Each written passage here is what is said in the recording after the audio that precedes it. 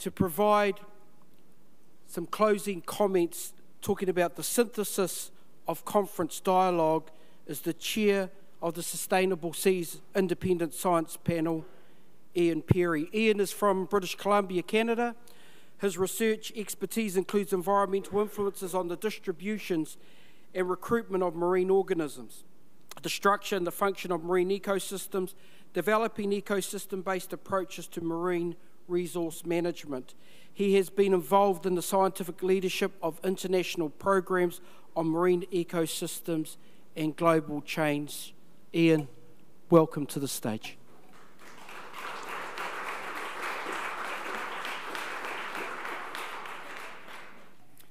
Thank you, Bahia. We're almost there. Just stay with me. All I have to do is, all I've been asked to do is to uh, synthesize the discussions of the conference in less than 15 minutes. Yeah, right. Sure. Uh, you haven't seen uh, all the notes that I've taken here. I've got notes on each of the presentations. So I'm just going to go through those really quickly. And uh, no, I'm not going to do that either. Uh, I have benefited in my comments, preparing my comments here from discussions from a, couple of my uh, co-members on the independent science panel, Ingrid van uh, Putten and Eddie Allison, who are in the, in the audience, but they're, this is me, so they're, they're not going to join me here. And they, will help me if I get struggling, uh, struggle if there's any questions left as well. Um, so you also notice that I haven't been everywhere. I haven't been listening to all of your conversations, but I have talked to all sorts of people here. I've talked to iwi, I've talked to school teachers from up north, I've talked to academics, I've talked to university students, um, I've even talked to government officials.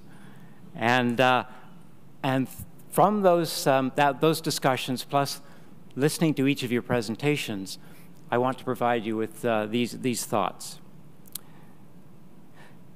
as a Canadian, uh, we, in Canada, we have an un, unusual, well, I don't know if it's unusual, it's, it's, I think it's an unusual quirk. In Canada, we're not assumed to have su succeeded until you get um, uh, uh, ratification or impressions from outside of the country. And for us, that usually means the United States. And I have a bit of a suspicion that maybe you in Aotearoa, New Zealand, have a little bit of that same kind of quirk. You look for validation outside the country? Well, I'm here from outside the country, overseas. Uh, I've spent a lifetime uh, career working in the field of, that, uh, of ecosystem-based management, and I'm here to tell you that you have uh, done a fantastic uh, job. You have a fantastic program. You have fantastic accomplishments. Um, I've seen, an, so I started with this in about 2015 and I've seen an amazing change from what was at the time a pretty uh, world-leading standard ecosystem-based management program to something that now is that there's nothing like it anywhere else in the world, and I can say that to you uh, sincerely. Um, and so you should be very proud of what you all have accomplished, as I am proud to be associated.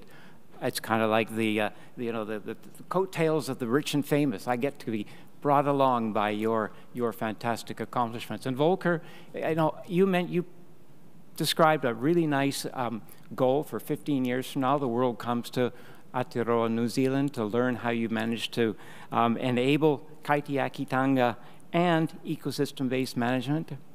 You're already well on the way to doing that. And I would see that if you play your cards right going forward, and that's something I will get to at the end of my comments, um, you will be there and you will, you will be the center of the world for this kind of, um, these kinds of efforts. So I'd like to invite you in the context of storytelling that Joe uh, was, is so good at, I'd like to invite you along with uh, our journey in, a, in Awaka through some of the highlights that I um, have uh, drawn out from the, the three days of the conference. And let's see if I can get this thing to work properly. Okay, so we'll start with this morning.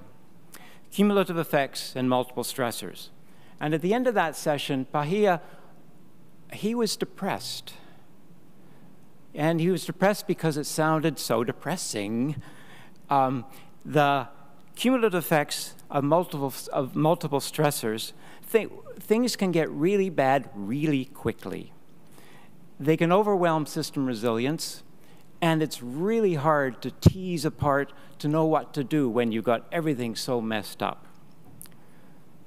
But understanding how that can happen is, is halfway there.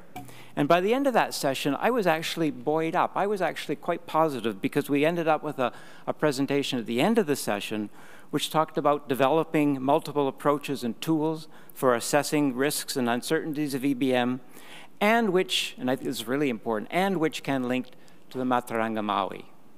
So those are some key aspects coming out of, of that, which, which led me to believe that there's some hope yesterday.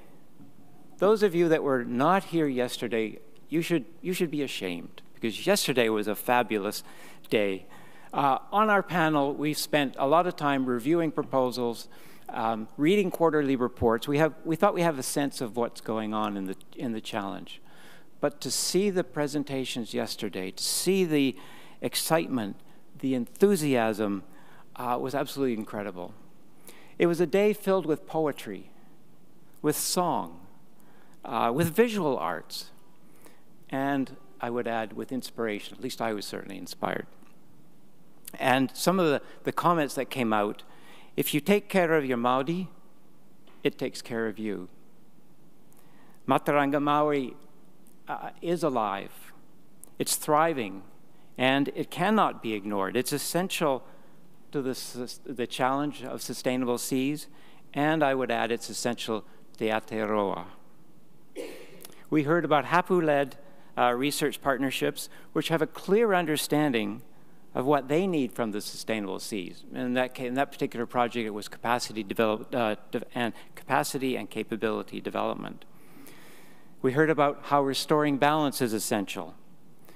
And uh, with, with the particular example of the overabundance of sea stars, and how Matauranga Maori and non-Maori uh, science can work together. We also heard exciting work to claim and preserve traditional knowledge, to inform the transformation of marine monitoring and marine management practices, and the, the work to build potential futures, the future triangle. And although he didn't say it on um, yesterday, it was said on Monday and again today. Mauro, I don't know if he's still here. Mauro Samuels said, and you heard it again today, give us the ball and let us run with it. To which I would add, you're not alone, the rest of us are on your team. Wednesday, the blue economy. Uh, again, on the independent science panel, we had been pestering the leadership team about what are you going to do about the blue economy? What are you going to do about the blue economy? Oh, we'll get there. We'll get there. Um, well, from what we saw on, on Wednesday, you have got there in spades, and it only took you about two years once you actually got down to it. Uh, and I think that you took the right approach. You didn't take the kind of the big, overarching challenges. You looked instead at focusing on innovative um, initiatives with seaweed, with bioproducts, and um, uh, uh, natural uh, sort of other other things that new sectors that you can build up. And then, in addition to that, there was an interesting presentation on um, funding options for ecosystem restoration and the roles of large investors, kind of a topic, almost a banking sector, which we haven't really discussed all that much. And if we come back to today, the end of this morning, there was a present, there were present several presentations on governance. Uh, we heard about multiple and fragmented legal structures, which is inconsistent with the integrated ecosystem uh, pro, uh, the, the fact of an integrated ecosystem. Um, but it was also, I, I, was interested to hear that the, uh, the researchers there didn't feel that a single legal instrument was what was needed. What instead was needed were better multiple policies and better laws, the hooks and anchors aspect, which I think is a very powerful uh, visual image. But as Robert Joseph, also in that session this morning, uh, so eloquently said, words are important. Context is important. Meanings can change and can lead to miscommunication. There is mana in words. And so, with that thought, I wanted to um, just finish up a little bit by focusing on some keywords. This is a, actually a, a building on something that Stephen Harris said at, this, at the synthesis of day one and that Annaru Luke said at the synthesis of day two.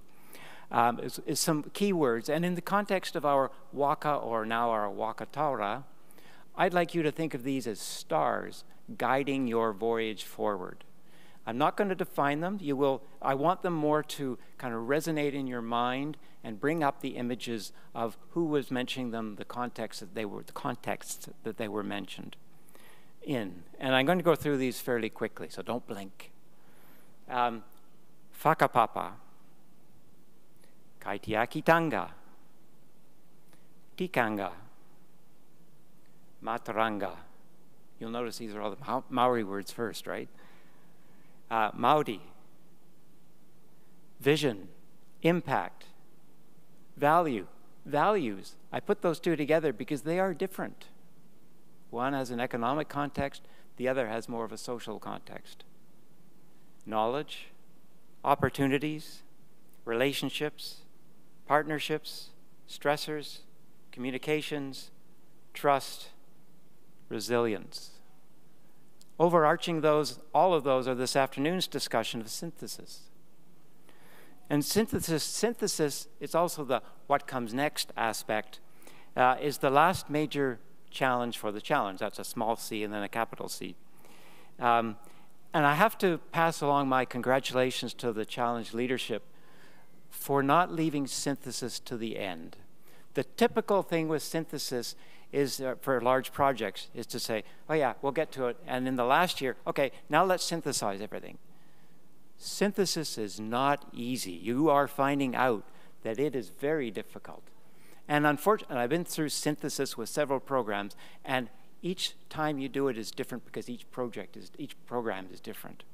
So you have to find your way. Um, and in my view, you are finding your way very well. There's still some things to be worked through, um, but you will get there. So, synthesis is what positions the challenge for what comes next. And that we don't know what comes next. And kind of where I'd like to leave things and leave with you is Taonga Tuku Iho legacy. What will you leave to the students that come afterwards, to the regional managers that are wrestling with real problems and need tools and need knowledge in order to resolve them. How can you position the challenge uh, for that legacy rather than like many scientific programs, it just when it's over, funding goes away, people follow the money elsewhere, and it's there in the literature, but not really in practice. How can you move the challenge to impact? That is the challenge, small c, of um, synthesis but I know that you will get there. It's been a fabulous three days. I've been incredibly enthused and, and buoyed by what you are accomplishing. I would like to congratulate, this will probably happen anyway, the leadership team, Julie, um, all the, the challenge leadership uh, leaders, and the challenge staff. The, these conferences, especially this kind, just don't just happen. So you are to be congratulated, and all of the participants of the meeting and also of the challenge activities. Um, I'm going to go back to Canada and certainly tell people that you got to pay attention to find out what's going down in Aotearoa, New Zealand, because they're going to be leading the way. Thank you.